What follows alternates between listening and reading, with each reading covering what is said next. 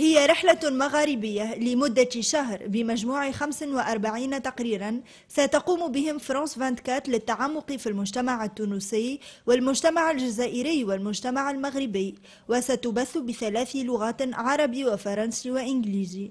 نحن اليوم نبتدئ رحلة مغاربية آه، شهر مدة شهر و30 45 تقارير.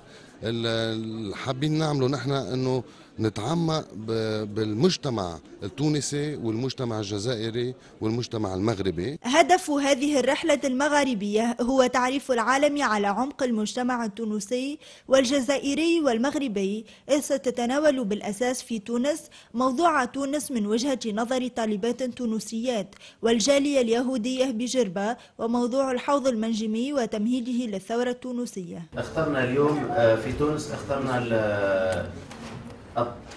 تونس من وجهة نظر طالبات تونسيات. مثلا سؤال يعني الموضوع الأول.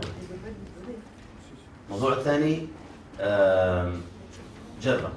هناك جارية يهودية في جربة يعني مهم جدا بالنسبة لنا أنه نظهر هذا الجانب التعايش في تونس. بدأنا هذه الرحلات في الولايات المتحدة ثم يعني آه الآن آه نسافر عبر آه بلدان المغرب العربي.